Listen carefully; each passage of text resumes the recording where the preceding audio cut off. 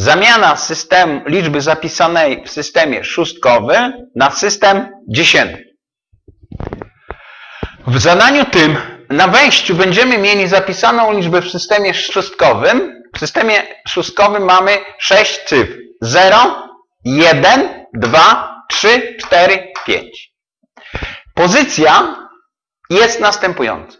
Pozycji zerowej będzie wartość 1. W pozycji pierwszej, to jest pozycja zerowa razy 6, daje nam 6. W pozycji drugiej, pozycja pierwsza razy 6, mamy 6 razy 6, 36 jest przyporządkowana wartość. W pozycji trzeciej mamy P, pozycja druga razy 6, czyli 36 razy 6, 216 i, ta, i analogicznie w pozycji czwartej mamy pozycję trzecią razy 6, czyli 216 razy 6, 1296 i tak dalej obliczamy pozycję. W naszym przypadku będziemy mieli tylko dwie pozycje.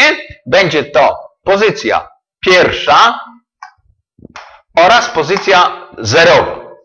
Więc wartość tej liczby będzie 1 razy pozycja pierwsza, bo cyfra jest 1, dodać 2 razy pozycja zerowa, a zatem po podstawieniu wartości na pozycji 1 na pozycji 0 mamy 1 razy 6, dodaj 2 razy 1 mamy 8. A zatem odpowiedź jest poprawna. Wynik jest 8. Ale jak do tego dojść? Żeby uzyskać cyfry, konkretne cyfry, robimy to w sposób następujący. Daną wartość dzielimy przez 10 i wtedy otrzymujemy 1. Ale reszta z dzielenia przez 10 daje nam 2 i to jest nasza cyfra. Teraz to, co uzyskaliśmy z dzielenia 1, analizujemy dalej.